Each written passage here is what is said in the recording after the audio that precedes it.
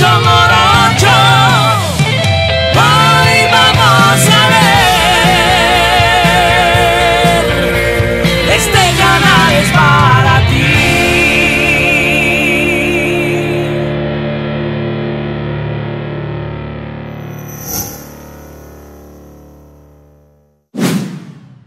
Es cierto, es cierto, vaya, afuera de, la- de- de la- de- de un cuartel donde pasaban dos guardias, además de quedar su fragancia, iba quedando limpio. Nadie, nadie, nadie, ni tan siquiera nadie, quedaba ahí su rato que nadie volteaba a ver, "Jonte, ¿qué hicieron? vos?". Nada, quieto, va. Pero es ilógico que llegaran dos guardias a reforzar los patrullajes que sacaba la brigada durante el día. Pero sí era lógico que en la noche 10 soldados fueran a reforzar la guardia. Eso sí era correcto. Va. Pero la misión, hoy después, en el 86, me doy cuenta que la misión era que los guardias eran detectives y andaban investigando a ese capitán. Esa era la misión de ellos. Y para despistar en la noche se mandaban 10 soldados, pero en el día llegaban dos guardias. Y los guardias salían a patrullar. Una de esas salió, salió el capitán a patrullar allá por la zona de ahí de Zulután, una colonia que le llaman, los, los naranjos, casi por la entrada de Zulután. Llegó el capitán y se entró a una casa. Ah, y estando en una casa allí, pues, y los guardias en la- aquí los daban al lado. Esa era la misión de ellos, el capitán. Cuando entró a la casa, pues, ya se acercó el guardia de una forma sigilosa, va, no era la misión de ellos. Y vieron que la señora estaba haciéndole, desguazándole la MP5. Y le dijo, y le dio también a ella la- las razones por qué el MP5 le estaba fallando. Y le dijo, mira Alvarado, tu MP5 te está fallando por esto y esto y esto. Ok, La señora sabía más que el capitán. Perfecto. Ok. Me imagino que de ahí siguieron siempre, siguieron siempre, va. De presto, yo estaba amanecido, yo estaba de guardia de prevención en el garitón que está en la entrada, de la entrada al cuartel, ¿verdad? Detrás de mí estaba la, la cancha de basquetbol donde jugaban los oficiales. Pero lo extraño fue que tipo 9 de la mañana y el capitán, ah, en la mañanita el capitán dijo, dio la orden que nos repartieran las camisetas de la compañía. Perfecto. No, inmediatamente, inmediatamente fue pasando rancho, en ese momento hicieron a, a repartir todas las camisetas. Pero un día antes, ese capitán había sacado 10.000 cartuchos de G3 por una cuadra que estaba haciendo en el cuartel. El cuartel estaba haciendo más grande y allí por el lado ahí estaba, el espacio y allí llegó un, un pica rojo y allí se las 10 cajas de cartuchos de G3, 10.000 cartuchos. Desde ese momento, y, el- y ese capitán ya estuvo ah, en su pabellón, le quitaron su equipo, ya estuvo en su pabellón que ya no saliera. Eso, eso supimos nosotros. Y ese siguiente día pues dio la orden que repartieran las camisetas a la compañía. Digamos que, digamos que le tenía afecto a su compañía el hombre, pues. Porque la compañía, la primera compañía le respondió. La primera compañía en ese cuartel respondió. Peleó bastante, luchó. La primera compañía fue una compañía que luchó. Y la única que tenía armas de apoyo y que andamos allá las piezas de armas de apoyo del 60, el 81, eh, las puntos .50, la primera compañía y otra compañía no andaba eso. Porque en la primera compañía era la única que tenía es- es- esa sección de armas de apoyo. Ok, bueno, perfecto. Ya tipo 9 de la mañana, ya el capitán, ya, ya el capitán ya salió vestido con unas ropas, una ropa, con un traje celeste oscuro, algo rara la ropa, la vestimenta, una vestimenta algo rara. Y yo como estaba de turno allí en el, en el garitón, en la entrada del cuartel, yo allí ya me puse allí, híjole, ahí está mi capitán, digo, sí, voy a poner yo aquí, allá vivo, vivo aquí, pues digo, porque ahí está mi capitán, que no sé qué, me va a regañar si ve que estoy pasmadeando, que me va, a gritar. No, el señor ahí tranquilo, paradito ahí en la cancha de básquet. Y la, la guardia de prevención, pues digámoslo, a un lado, como a unos 30 metros donde él estaba, pues, ¿verdad? Perfecto. La Guardia Nacional en ese entonces Lután tenía un Land Cruiser descapotado y tenían también un Land Cruiser este, cerradito. Entonces, perfecto. Mire, al momento, ya como las nueve, algo así, pues después, como a la media hora que él estaba allá afuera, llegó la Guardia Nacional en el Land Cruiser Celestito. Llegaron tres guardias, se bajaron, se le fueron a cuadrar al comandante guardia y con la misma solo se cuadraron, dieron parte y se retiraron a ponerle a las esposas al capitán, a esposarlo. El señor ya estaba esperándolos. Me imagino que sí, porque él ya salió de civil ya una vez, ahí se quedó ya. Ellos llegaron, que lo saludado ya ahí, pues, atrás, a la cruiser, a la calle. Hasta ahorita yo no sé qué hicieron con él porque jamás se dio mencionar su nombre. Su apellido jamás se dio mencionar. En lo personal, su apellido jamás lo dio mencionar y nadie hizo un comentario, cero comentario. Me imagino pues que me imagino que había ido a parar a Cuba, pues. Me imagino, pues. Porque él no jamás se dio mencionar. Perfecto. Pero, pero antes de eso, le repito, pero en un principio sí llegó muchos soldados infiltrados. De hecho, en una, como la segunda operación allá en Morazán que fuimos, tuvimos un enfrentamiento muy bonito, tipo 2 de la tarde. Habíamos caminado toda la mañana desde los quebrachos buscando el cerro del tablón. Sí, y entonces dijo el teniente Blanco, Blanco Lazo, eh, llegamos a una pinera bien linda, la pinera, hijo, le dijo, descansemos acá. Sí, pues de la tarde, descansemos acá, digo, descansamos en la pinera. Y en ese entonces andaba el Atalacatl también. El Atalacatl estaba, no sé, pues quizás a una distancia de unos, de unos, este, de unos 3, kilómetros, nosotros estábamos en el Atalacatl, estaba, el Atalacatl estaba peleando esas horas. El Atalacatl en ese momento, el Atalacatl estaba dándose duro, que pidieron el fuego de artillería. Entonces, pues nosotros estábamos, allí pasaba la, allí pasaba la, la, la, ahí oía cuando pasaban las, las papayas, haciendo- ok, perfecto. Como, al- como la cuarta papaya, nos cayó a nosotros, ahí donde estamos debajo de una pinera, nos cayó una papaya allí cerquitita. A nosotros solo nos cayeron las, ramitas secas de los pinos. En ese momento dijo el, dijo el teniente, "Repa- retirémonos.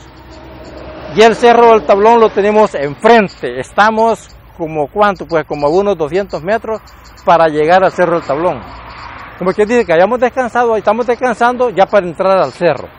Pero para entrar tenemos que, y ve- veníamos bajando, luego teníamos que pasarnos un río, después del río ya subir al cerro el tablón. Entonces dijo el teniente dijo que, bueno, no dijo continuemos, dijo que nos falta, continuemos, dijo que ya nos falta poco. Nosotros ahí descansando y mirando el cerro del tablón hacia enfrente. Hacia enfrente, ya, enfrente el cerro allí, perfecto. Cuando bajamos a la media vaguadita y el río un arancel, que la misión era llegar al río y tomar agua, ¿verdad? Perfecto, entonces estando allí, el, el teniente no sé qué dio una palomita a la blanca, yo no sé qué en su mente qué le dio. Matar a la paloma. Él le dio, sí, ¿por qué matarla? ¿Para qué le iba a matar? Pues, ah, ¿qué iba a hacer con eso? No iba a hacer nada, nadie iba a comerse eso. ¿verdad? Porque hemos, la misión era caminar en ese momento. No era así, matémosle y quedémoslo acá, no, para nada, él no sé qué le dio a él. Perfecto, vino él y agarró la Browning y le disparó a la palomita. Ah, pero si a lo más que él disparó, nos cae la emboscada encima. ¿Ah? Entonces ellos estaban esperando que nosotros llegáramos al río para agarrarnos, sinceramente. Pero, pero como le digo, él no sé cómo se le ocurrió dispararle a la palomita, ¿verdad? Eso fue todo. Cuando ellos vieron el disparo ya lo vieron. Ellos se precipitaron, ¿verdad? Y entonces ellos no se aguantaban, pues si nos van agarrando, híjole, no se imagina, allí estuvimos, ¿qué? Pues ahí estuvimos un buen rato. Ahí estuvimos toda la tarde, pues, ¿verdad? Finalmente llegaron, en ese entonces estaba el fuga, no había la 37, estaba el fuga que le llamaban, los, los salitas para atrás, pues. Esos llegaron, se- llegaron detrás del cerro y en la bajada, ¡pum! dejaron tirar las papayas. Así igual como nosotros nos pudimos mover de esa zona y dormimos enfrente del cerro, pero ya sobre una vaguada. ¿verdad? Entonces ahí andaba un soldado, que el soldado pues sí, él era... A un, a un principio le, lo controlamos de que no era tan así, tan, o sea, tan confiable pues. Y entonces la misión que él andaba era que quería matar a un sargento de apellido Maravilla Larín. Maravilla Larín, cierto, el señor era estricto. El hombre era como, vaya, literalmente así, así, paloma, estaca, pues. Pero él, él lo hacía, claro, pues, con el que se lo merecía, pues. Pues sí, porque si alguien no cometía falta, tampoco, tampoco va. Y él, sí, entonces él, no sé, que a ver qué marca había con él y andaba picado con él. Entonces la misión de él era matar al sargento, al su sargento. Pero, ya en la noche, ya nos dividimos, pues, ya en la noche nos dividimos, ya el Maravilla Larín se quedó con su gente en un lado y con ese teniente Blanco Lazo nos quedamos más adelante. Pero dividimos, perfecto. A las 12 de la noche cuando yo me levanté de ser imaginaria, le di parte al teniente. Me dijo, vaya, mira, me dijo, este, ponete vivo, me dijo, porque ya tenemos, ya tenemos un muerto. Va, ya tenemos un muerto, me dijo, va, va, y me quedé tranquilo, pues. Va, No dije, uy, mire, que me quede. ¿Usted ya sabía que estaba muerto? No, no, no, no sabía. No, yo no sabía. Ponete vivo que ya tenemos un muerto, me fue. Un mea, me fue. Ah, yo, uno, pues, muy discreto, éramos jóvenes muy discretos. No decirle por ay, mire, mi teniente, ¿qué pasó? No, no, no, cuando había militar había que, era, era de entender bien las cosas. Preguntar cuando podía, lo, si consideraba y si no, pues no preguntar. Hacerse loco mejor.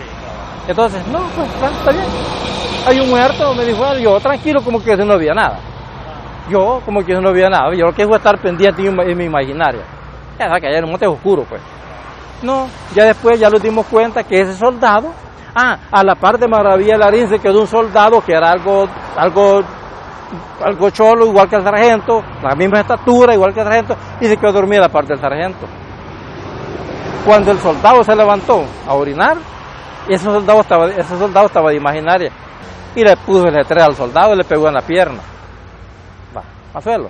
Y después se dio cuenta que era, el- que era el soldado, no era el sargento que había levantado era el soldado. Bueno, cabal, el helicóptero llegó inmediatamente. ¿No lo mató? No, ah, se murió, el soldado se murió. Si el soldado murió en el aire, ya, ya no alcanzó a llegar al, al hospital, pues. No, se se vació, que un G3. Ah, que G3 es una de las armas más criminales que hay, pues. Sí, lo- sí, el hombre se, se- se murió. También se lo trae el helicóptero. Se lo trajo también. Y a él lo dejaron ahí en comando en Morazán. Ok. Pero viene ahí en comando, ¿verdad? Entonces ya ellos allí, ya los jefes, pues, a ver qué acuerdo llegaron, ¿va? Y empiezan ellos y le dieron la confianza. No lo metieron a Bartolina, porque él tenía que ganar la Bartolina, ¿va? Vaya. Porque allá ya no podían andar operando, ¿va? Se lo trajeron y no lo metieron a Bartolina. El comando lo hubiera metido a Bartolina, ¿va? O lo, o lo hubieran dicho, pues, eh, la, la, allí la, la, la, la, la de esta brigada, tráiganlo, pues, al cuartel de allí, pues, ya. No, no, allá quedó en Morazán, ahí lo andaban ellos, suelto. No, me lo maté, se vistió de comando. ¿Por qué va? Sí, andaba tranquilo. Cuando, salimos, cuando nosotros salimos del operativo, todos hediondos, muertos, porque allá hubo un- ya unos muertos ahí que. Sí, porque tuvimos allá un enfrentamiento y entonces eh, soldados pues que no los pudimos recuperar, pues caen todo el día. El siguiente día y había que andarlos cargando y no los podíamos. Estamos, en- estamos en, esa- misma zona, no se podía recuperar. Recuerden que en ese entonces lo que era helicóptero era muy poquito. Entonces no había como después que había cantidad de helicópteros, no, entonces era muy poquito. Y más cuando yo estaba en el 81, eh, Hughes 500 no habían. Había un helicóptero que el motor se le miraba, que hacía un ruido bien raro que todo se le miraba, que toda la cola se miraba todo el motor. Ah, de los viejitos. Ajá, esos eran los que habían antes. Y, eso, y eran, pues, que no sé cuántos había, pues, ¿verdad? Y entonces, finalmente se nos- el soldado ya se nos había herido. Sí, sí, entonces, y, el olor, a- el mal olor a, a- muerto, entonces es, es pasado. Y es un olor, híjole, bien picante, pues, bien picante.